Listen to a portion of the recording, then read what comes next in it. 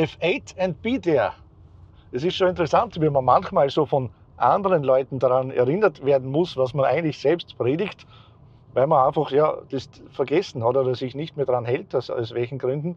Äh, ihr kennt sicher Videos von mir, wo ich so ein bisschen darüber jammer, dass wieder schönes Wetter ist und der Himmel ist so blau und eigentlich hätte ich gern ein bisschen bewölkten Himmel etc. Äh, stimmt ja, an und für sich ist Fotografieren bei sogenanntem schlechten Wetter ja an und für sich viel besser, weil die Fotos viel interessanter werden, die Motive viel interessanter werden. Ein blauer Himmel ist immer ein bisschen langweilig. Ja, na, und dann habe ich gestern überlegt, äh, eigentlich die Wettervorhersage ist nicht gut, den ganzen Tag über Regenschauer. Es ist auch nicht so warm. Und überhaupt, wo soll ich denn hinfahren? Was soll ich mir denn anschauen? Und der Fuß tut mir auch weh. Und ich war doch irgendwie knapp davor, dass ich sage, geh, lass es einfach. Ich fahre gar nirgends hin, ich bleibe zu Hause und habe mir das Video von Thomas Hitten angeschaut, das aktuelle Video. Und da ähm, zitiert er einen anderen YouTuber, nämlich den äh, äh Tony Northrup, glaube ich, Tony und Chelsea Northrup, ein, ein, ein, Kanal, den ich selbst auch ganz gerne anschaue. Und der bringt eben genau das. F8 and be there als Tipp äh, fürs Fotografieren. Was meint er damit? Naja, F8, Blende 8 ist natürlich eine soll ich jetzt sagen, allerweltsblende. So eine Blende, die halt üblicherweise immer funktioniert. F8, wenn die Sonne lacht, ihr kennt diese Regel. Ich habe auch einmal ein Video gemacht über Fotografieregeln. So, by the way, äh, stimmen die, diese ganzen Fotografieregeln. Natürlich Blende 8, F8 äh, ähm, als Standardblende ist nicht ganz verkehrt, aber das Wesentliche ist das Zweite, nämlich be there. Geh halt raus, mach's einfach, tu's einfach. Und äh, das habe ich mir dann ein bisschen so ja, zum Thema gemacht und wieder selbst mich daran erinnert, dass ich ja auch eigentlich immer euch versuche zu motivieren, rauszugehen, einfach es zu tun. Und habe dann eigentlich noch ein, ein Zitat, ist mir dann eingefallen, das mich dann letztendlich dazu gebracht hat, nämlich der alte Wilfried. Wilfried, ein Sänger, ein österreichischer Sänger, den kennt ihr vielleicht, der hat ein Lied gebracht, wo es um den Icarus geht und eine Textzeile dabei, die finde ich sehr, ja, irgendwie äh, großes Gewicht hat für mich einfach, ist, äh, nicht, nicht das Gelingen, nur der Versuch zählt am Schluss. Und ich habe diese Textzeile immer wieder mal falsch in Erinnerung gehabt und habe äh, gedacht, er, er singt nicht das Gewinnen, nur der Versuch zählt am Schluss. Aber es, nicht einmal, es geht nicht einmal ums Gewinnen. Es geht auch darum, nicht das Gelingen, sondern der Versuch zählt. Der Versuch zählt. Einfach mal rausgehen, selbst wenn es nichts wird. Normalerweise habe ich auch schon öfters erzählt, ergeben sich dann, selbst wenn das eigentliche Ziel, das man vorhat, aus welchen Gründen auch immer nicht erreichbar ist, äh, vom 24.05. Aha, da haben wir das gleich. Da war jetzt gerade eine Straßensperrung bis zum 24.05. Aber die Straße war offen. Jetzt bin ich gespannt, ob ich weiterfahren kann.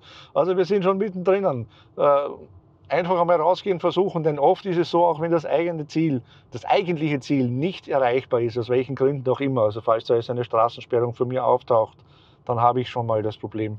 Äh, aber Oft ergibt sich dann irgendwas anderes, das auch nett ist, wo man dann schlussendlich sagt, am Ende des Tages, gut war es, dass ich rausgegangen bin und dass ich was gemacht habe und dass ich mir das angeschaut habe. Auch wenn das Ergebnis äh, ja, ähm, gar nicht vorhanden ist oder nicht verwertbar ist, ist egal, man hat es versucht, man hat Erfahrung gemacht, man war draußen. Und nur alleine das Draußensein, äh, Draußensein schon, alleine dieses Waldbaden, ne, diese Tetrahine, glaube ich, Tetrahine äh, atmen, die Botenstoffe des Waldes, die uns ja auch durchaus äh, stimmlich unsere Stimmung heben. Ja, also einfach tun. Das ist auch ein bisschen mit auch wieder ein, eine, eine Erinnerung an mich selbst, aber auch ein, eine, wie soll man sagen, ein Appell an euch. Nicht, wenn, wenn Sie in diesem wiggelwoggel seid sind, wie man, wie man bei uns in, in Österreich sagt. Also nicht ganz klar, mache ich es, mache ich es nicht. Da ist schon ein wunderschöner Wasserfall, eine schöne Wasserwand. Dann, ja, probiert es einfach doch. Schaut mal, wie weit es kommt und meistens ergibt sich was. Was habe ich heute vor? Ich fahre heute ins schöne Oberbayern, bin gerade durch Bergen durchgefahren, eine wirklich sehr nette kleine äh, Stadt, hätte ich gesagt, aber es ist eigentlich, denke ich, nur ein Dorf. Ähm, und ich fahre hier weiter zum sogenannten Wasserwandel, Wasserfall. Das wäre zumindest mein Plan. Den habe ich entdeckt durch ein Video. Sehr interessant. Da wird es jetzt etwas enger bin gerade am überlegen, ob ich nicht ein bisschen da mitnehme, wenn wir da durchfahren. Also wir haben da oben so Netze gespannt, die Steinschlag quasi verhindern sollen. Ja, habe ich entdeckt durch ein Video von auch einem anderen YouTuber, blende ich gern auch ein den Link zu dem anderen YouTube-Video, der diese Wanderung da mal gemacht hat. Es ist eine kleine, kurze Wanderung vom letzten Parkplatz weg. Äh, geht man, glaube ich, zwei Kilometer, wenn ich das in Erinnerung habe, bis zu diesem Wasserfall. Alles in allem nichts Spektakuläres. Natürlich, äh, gerade äh, ähm, wenn man Wasserfälle kennt vom Innengebirg von Salzburg, dann ist das jetzt da hm, jetzt kein großer Wasserfall, aber das macht mir nichts, weil oft findet man gerade bei den kleinen Sachen Dinge, die durchaus fotografierenswert sind und die dann auch ja, es wert gewesen sind, besichtigt zu werden. Und ich habe diesen Punkt schon länger auf meiner Liste und habe eben dann gestern, nachdem ich mir auch diese Wilf, das Wilfried-Zitat wieder angehört habe, gesagt, na, ich mache was, ich schaue meine Liste durch, ich habe überall bei meinen Punkten dabei stehen. Erstens, wie weit fahre ich dahin mit dem Auto? Hatte also dann nicht Lust, irgendwelche Punkte zu machen, wo ich über 100 Kilometer fahre. Und der zweite Punkt, ist natürlich immer noch wesentlich, wie weit muss ich denn da gehen und wie viele Höhenmeter muss ich gehen.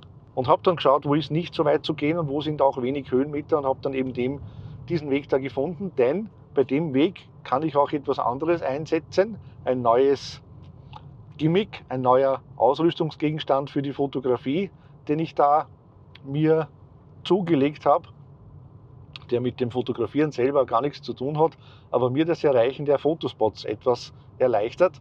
Und den möchte ich da versuchen einzusetzen, werde ich euch dann zeigen, wenn wir dort sind. Aber jetzt muss ich ein Stückchen noch fahren, da kommt jetzt noch ein kleiner See und dann nachher, glaube ich, gibt es die Wanderparkplätze, die das, den Start markieren für unsere kleinere Wanderung, die wir heute haben. Momentan haben wir leider ein bisschen wieder an Regen, es wird den ganzen Tag über Regen, aber regnen. Aber die Wahrscheinlichkeit, die Regenwahrscheinlichkeit liegt bei unter 50 Prozent und die Regenmenge bei ungefähr 1 mm, 2 mm, also das, was wir als Salzburger eigentlich nur als erhöhte Luftfeuchtigkeit betiteln würden. Das ist noch gar kein Regen, äh, wobei man sagen muss, das stimmt auch nicht mehr. Es regnet auch in Salzburg. Ui, da wäre jetzt ein schönes Auto gestanden.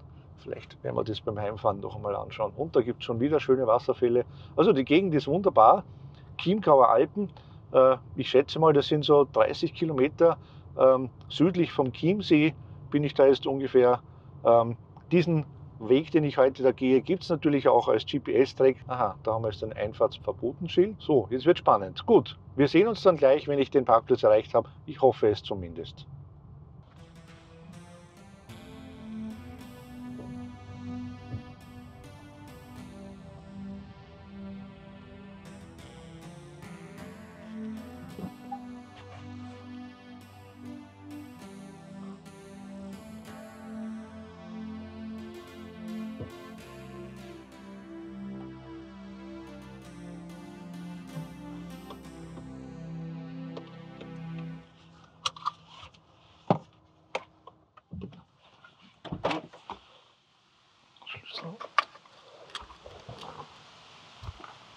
Ja, das wäre mal der Parkplatz. Ab da ist dann Fahrverbot. Leider regnet es jetzt ein bisschen, aber wie gesagt, an und für sich ist mir das egal. Wenn es nicht mehr wird, ich habe auch eine Regenjacke natürlich dabei. Ah ja, mein neuer Ausgerüstungsgegenstand, den möchte ich euch noch zeigen.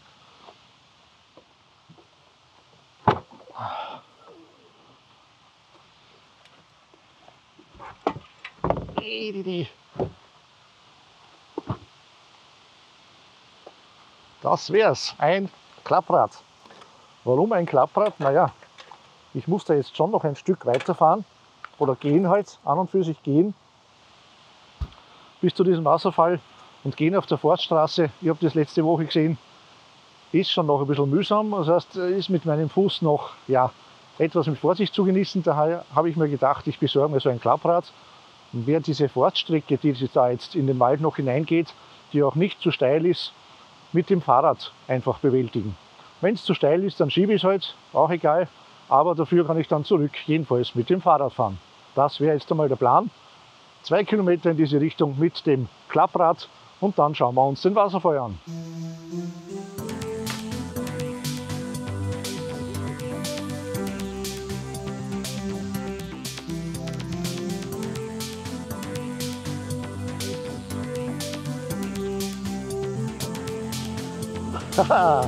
Ja, besser als zu Fuß gegangen ist es allemal.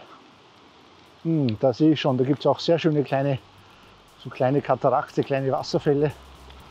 Ja, schaut schon cool aus. Schaut schon cool aus. Dann strampel ich einmal da weiter. Steigung ist machbar.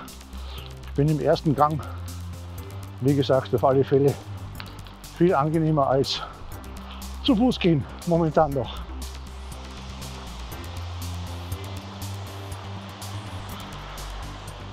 Ja, und schubs, bin ich schon auf die Regenjacke umgestiegen. So schnell geht's. Ja, aber damit habe ich rechnen müssen. Kann man nichts machen.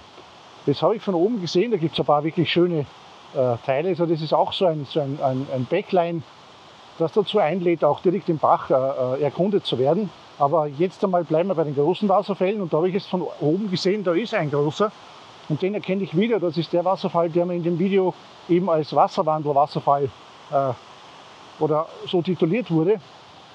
Wobei das ist nicht der Wasserfall, den ich eigentlich vorhabe zu besuchen. Also wir gehen dann noch ein Stück weiter. Ja, wir gehen, weil die Steigung ist doch so groß, dass ich das mit dem Fahrrad, da gibt es keine Mountainbike-Übersetzung, nicht schaffe. Das heißt, ich schiebe das Fahrrad jetzt hinauf. Dafür freue ich mich dann zurück. Kann ich drauf sitzen und hinunterrollen.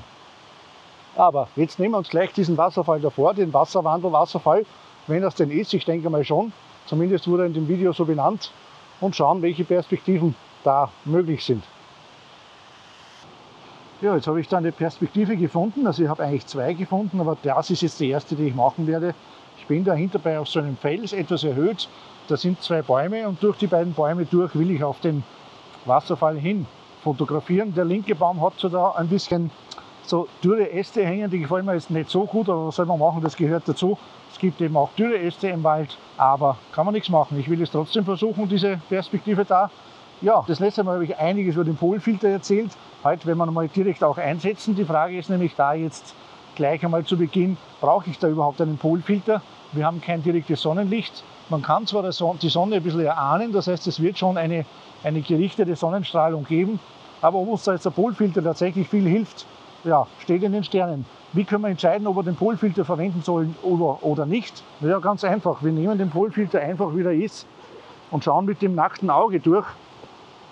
Weil ein Nachteil, den diese neuen, neu sage ich jetzt, so neu sind sie nicht mehr, aber doch äh, äh etwas neuer, die äh, elektronischen Sucher haben, im Vergleich zu den alten optischen, ist, dass man äh, durch den elektronischen Sucher den Effekt des Polfilters gar nicht so gut erkennen kann. Überhaupt, wenn man die Belichtungssimulation eingeschaltet hat, wozu ich ja grundsätzlich raten würde. Das heißt, man sieht immer im Sucher das Foto so, wie es dann tatsächlich ausschauen würde, wenn man es mit den aktuellen Einstellungen macht. Aber die Kamera regelt dadurch auch immer nach. Das heißt, man sieht die Veränderungen des, des äh, Polfilters schon, aber nicht so deutlich wie bei den alten optischen Suchern. Daher mache ich es ganz gern so, dass ich mir den Polfilter einfach einmal zur Hand nehme nehme ich mir da vom Stapel runter. Äh, Magnet halt ganz schön fest. So, einmal. Den Rest werden wir da wieder schützen. Und jetzt mache ich es ganz einfach so, dass ich nur durch den Filter durchschaue und dann den Filter drehe natürlich und dann schaue ich, wie verändert sich denn die Szenerie. Das heißt, ich schaue mal auf das Wasser, ich schaue auf den Hintergrund des Wasserfalls, auf die Mauer hier in dem Fall. Ich schaue auf das Laub, das weiter weg ist, aber ich schaue auch auf das Laub, das im Vordergrund zu sehen wird, das heißt diese Grasbüschel da von mir. Und dann kann man schon erkennen, dass es da eine, eine schöne Färbung gibt, wenn ich den Polfilter ungefähr so halte.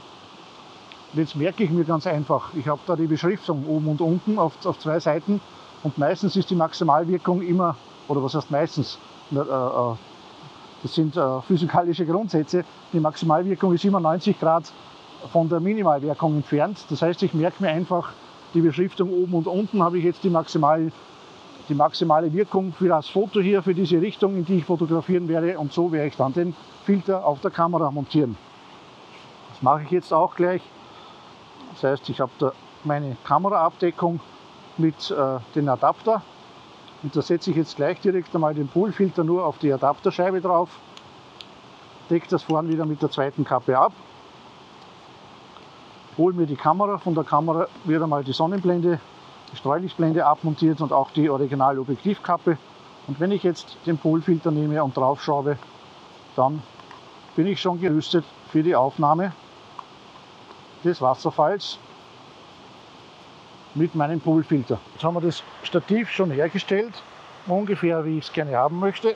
Ich habe da also jetzt durch die beiden äh, Fotos durch die Perspektive von mir.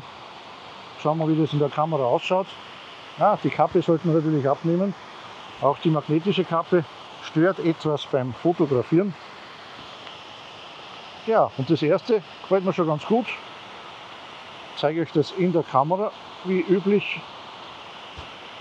Ähm, ja, wir haben da, das ist der Ausschnitt, den wir dann haben. Ich werde versuchen, etwas mehr vom Vordergrund mitzunehmen, sodass wir quasi so 50 Prozent, 60%, 70 Prozent Vordergrund haben und im oberen Drittel dann der Wasserfall ist. Von der Belichtungszeit werde ich versuchen, eher eine längere Belichtungszeit zu nehmen, damit diese, dieser Schleiereffekt, dieser, dieser sanfte, milchige Effekt vom Wasser da entsteht. Wir haben da genügend Wasser, ist nicht zu viel, aber auch nicht zu wenig. Ich glaube, der Effekt macht sich da ganz gut. Ja, Blende 8, na, machen wir nicht. Wir nehmen die Blende 16, denn ich möchte die maximale Schärfentiefe da haben, von vorne bis weit weg. Ich werde vielleicht sogar ein Fokus-Stacking machen. Ich bleibe etwas weiter im Weitwinkel, damit ich dann zu Hause noch Möglichkeiten habe, das Bild ein bisschen zu beschneiden, falls es notwendig ist. Auch falls ich diese ja, die stürzenden Linien, die, die Bäume, die jetzt natürlich ein bisschen nach oben, links und rechts äh, wegstürzen. Wenn ich das ein bisschen korrigieren möchte, dann brauche ich ein bisschen mehr Fleisch rundherum. Ich stelle scharf einmal auf den Wasserfall. Ja, ich mache die erste Aufnahme.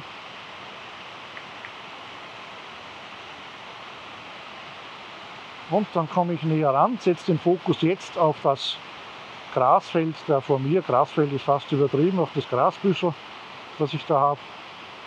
Und dann bin ich ganz vorsichtig, mache auch noch ein Foto, in dem dann das nächste Objekt, das ist diese Wurzel da unten, scharf gestellt ist.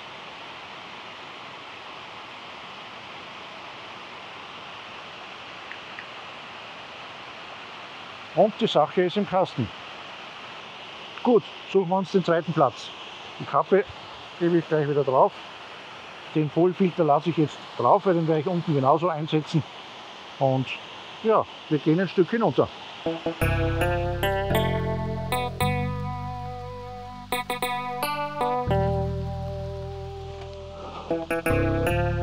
So, kleine Planänderung. Manchmal habe ich das Gefühl, irgendjemand will mich da challengen. Haben ja nichts gegen ein bisschen Regen, aber es hat sich jetzt da doch irgendwie so richtig eingeregnet und ich habe da jetzt eine Zeit gewartet bei dem anderen Wasserfall, weil ich natürlich im Regen auch nicht unbedingt die Kamera aufstellen will. Und habe mir dann gedacht, anstatt dass ich da jetzt sitze und warte, bis der Regen aufhört, äh, gehe ich doch einfach weiter, weil im Regen gehen oder fahren ist mir noch wurscht, als irgendwo einfach nur sitzen und nichts tun zu können und die Zeit verstreicht. Und die Zeit ist ja doch immer auch etwas, das begrenzt ist. Das ist halt einfach einmal so. Darum bin ich jetzt einfach weiter zu, weitergefahren zu dem anderen Wasserfall, der da jetzt von mir ist. Ja, ist schon auch toll. Ein toller Wasserfall. Die Schichtungen, die Schieferungen von, dem, von, dem, von der Geologie schauen da toll aus. Tolle Struktur. Ja, das werden wir schauen, ob wir da noch ein Foto zusammenbringen. Ich überlege gerade, weil da gibt es jetzt natürlich auch mehr Möglichkeiten. Ich könnte wieder relativ tief gehen, den Bachverlauf mitnehmen, ganz klassisch. Oder ich mache einfach ein Porträt vom Wasser selbst und nutze die Strukturen im Fels, die sich da ergeben wäre etwas anderes Wasserfallfoto. Ja, schauen wir mal, ich gehe mal ein bisschen näher ran. Ja, für meine Idee wäre ich lieber etwas weiter oben. Aber ich würde es dann noch sehr ungern da weiter raufkrabbeln, also werde ich es von da irgendwo machen. Und zwar ist die Idee einfach wirklich nur frontal ein Stück des Wasserfalls zu nehmen mit dieser Schieferstruktur, die sich da abzeichnet durch diesen Bruch.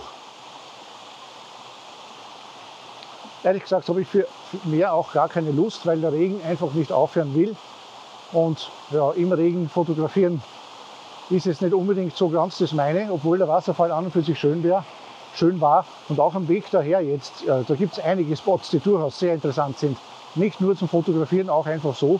Also das ist durchaus ein Ort, der besuchenswert ist. Ich kann mir vorstellen, dass da bei schönem Wetter durchaus mehr Leute unterwegs sind da, weil die Kamera sitzt, steht auch im Regen man sieht dann nur, wie diese Wassertropfen auf dem Kamerakopf da abplatzen. Das heißt, ich werde das Ding jetzt gleich mal ausschalten, da mein Foto machen. zusammenpacken und wieder zum Auto düsen. Recht viel mehr geht sich da heute leider nicht aus. Der Wettergott hat es leider doch nicht gut mit uns gemeint. Es hat sich jetzt so ein richtiger Schnürdelregen eingestellt. Der ist so ja, sicher eine Stunde, wenn nicht mehr, einfach nicht aufhören will. Kann man nichts machen. Aber ich werde das jetzt auch nicht unnötig in die Länge ziehen. Also machen wir ein Foto und dann lassen wir es dabei. Und jetzt hat tatsächlich der Regen etwas aufgehört. Das heißt, ich werde jetzt versuchen, vielleicht doch noch ein Foto von weiter unten zu machen. Von diesem Wasserfall eben mit diesen kleinen Wasserfällen da im, im, oder mit den naja, Wasserfällen kann man fast gar nicht sagen, aber diesen kleinen Fällen im Vordergrund. Das können wir noch ausprobieren. Und vielleicht mache ich dann doch noch einmal Halt beim anderen Wasserfall und wir machen die zweite Perspektive doch noch, weil mir kommt vor, jetzt kommt wieder so eine kurze Phase, wo der Regen wieder etwas mehr nachlässt. Ich will nicht sagen, und die Sonne rauskommt, weil das Glück werden wir nicht haben. Aber zumindest weniger Regen ist ja schon einmal etwas. So, und da zeige ich euch jetzt auch geschwind, wie das jetzt ausschaut. Nämlich, weil man da jetzt den Effekt vom Polfilter auch wieder gut sieht. Ich weiß schon, das ist jetzt eine etwas oft genannte Technologie, dieses Polfilter-Thema. Aber wenn man da jetzt dreht, seht ihr schön, wie rechts oben in dem im Bereich die Reflexion da schön weggenommen werden und dann gleich wiederkommen. Also es gibt nur einen ganz schmalen Bereich, wo man dann dafür sorgen kann, dass man da weniger Reflexionen hat. Sonst ist das alles da eine mehr oder weniger weiße Fläche da oben. Ne? Wir wollen das natürlich nicht, daher den Polfilter etwas weiter drehen.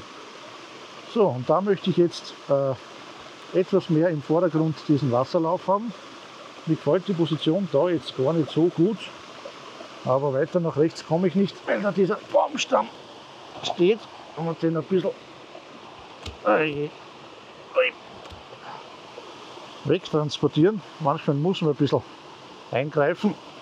Dann finde ich, ergibt sich da eine schönere S-Kurve da. Und dann sind wir viel besser, was das Wasser betrifft. So. Im Hintergrund schön der große Wasserfall und im Vordergrund nutzen wir da einfach den Bachlauf, der weiter schön in einer S-Kurve ja, das Foto ausmacht. Dann würde ich sagen, wir machen das Foto und ich würde sagen, ich fahre wieder zurück und vielleicht, wenn das Wetter so bleibt, machen wir noch eine Aufnahme bei dem anderen Wasserfall.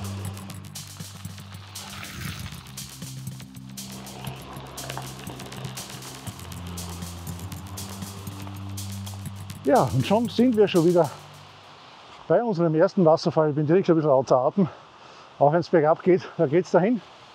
Da macht das Fahrradfahren schon Spaß, wenn dann der Regen vorbei ist. Ja, äh, der Regen vorbei. Das Wetter hat sich wieder ein bisschen beruhigt. Zum Glück können wir jetzt noch diese zweite Perspektive machen. Wenn ich nur da runter schaue, das alleine, dieses Bild da unten, wäre ja auch schon ein, ein Wahnsinn. Also da muss man unbedingt noch mal herkommen. Vielleicht an einem heißen, schönen Sommertag. Das würde mir Spaß machen, da einfach das Bachbett entlang gehen. Momentan traue ich es mir noch nicht so ganz zu. Ich merke schon ein bisschen, dass es noch nicht so funktioniert.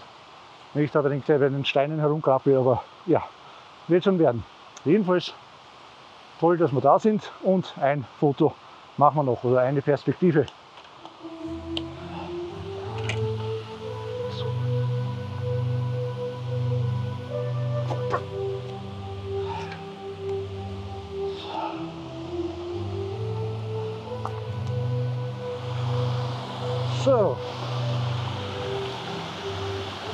Ja, jetzt muss ich eh schon wieder schauen, dass ich das Foto schnell mache, weil da hinten wird schon wieder dunkel. Also das mit der Sonne bleibt heute nicht lang, war auch so vorhergesagt.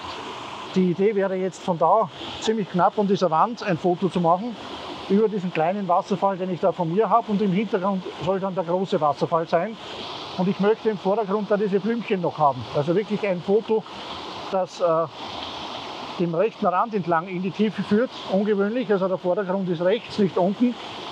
Aber das sind so schöne Blümchen und ich denke, die machen ein gutes, einen guten Vordergrund. Das will ich jetzt noch versuchen. Wir haben da einen sehr schönen Vordergrund auf der rechten Seite. Ich zeige es euch wieder im Video. Da diese kleinen Blümchen da vorne, da unten nicht das verläuft dann sehr schöne an der Seite der Wasserfall, da der kleine und in der Hintergrund, im Hintergrund dann der große Wasserfall. So in der Art habe ich mir das vorgestellt. Werden wir noch ein bisschen fein justieren. Leider haben wir, obwohl wir Bewölkung haben, wieder keinen schönen Himmel. Das ist einfach jetzt nur grau. Kann man nichts machen. Und 0,8 Sekunden Belichtungszeit ist okay. Wir haben Blende 16 eine ausreichend große Schärfentiefe, um da auch schöne Überlappungen zu bekommen für das Fokus-Decking, das ich natürlich auch da ist machen werde. Ich mache das jetzt direkt mit dem Touchscreen. Das hat den Vorteil, dass ich die Kamera nur minimal äh, berühren muss. Und ich suche mir in der Realität, wo haben wir den nächsten Punkt, den ich äh, scharf stellen muss. Ich nehme diesen Felsen da, die Kamera stellt scharf und löst automatisch dann gleich aus. Dann nehmen wir als nächstes, würde ich sagen, den Felsen da vorne. Die Kamera zeigt zwar ein bisschen eine Überbelichtung, das ist mir aber relativ egal, weil da, wo die Überbelichtung stattfindet, ist nur äh, grauer Himmel. Also das macht mir gar nichts aus. Schauen wir mal hinein in die 100% Ansicht. Dann können wir uns das da herausholen. Ja. Also man kann da am Schirm die Härchen von der Blume erkennen. Ich würde sagen, das passt. Das hat funktioniert.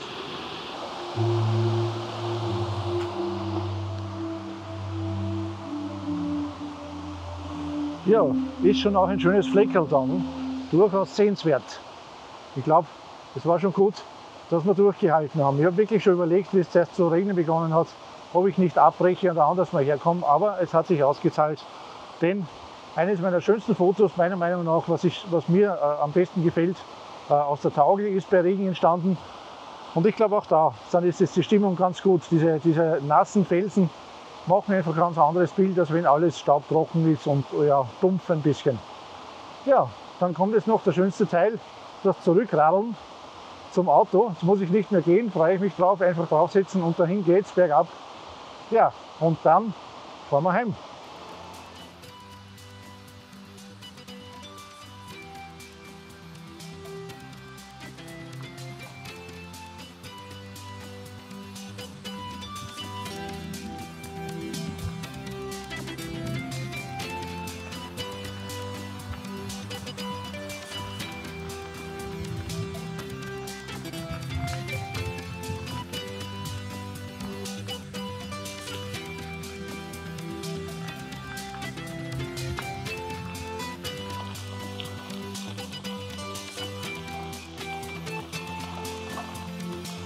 Ja, so macht es Spaß.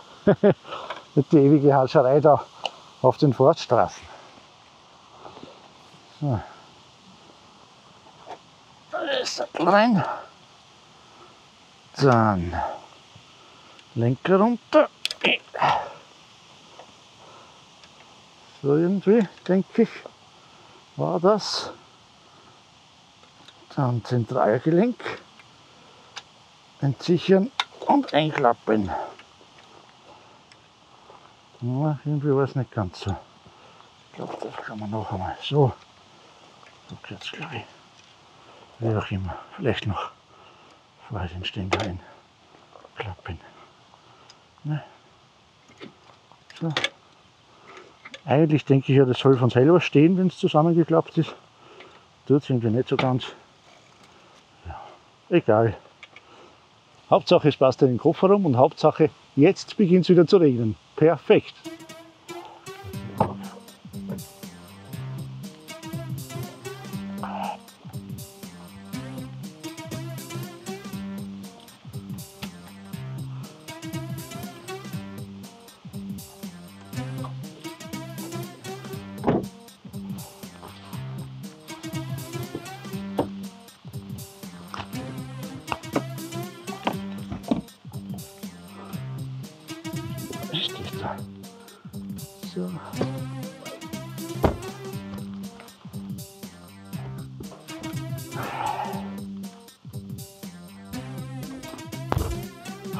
Ja, und schon sind wir wieder am Weg nach Hause.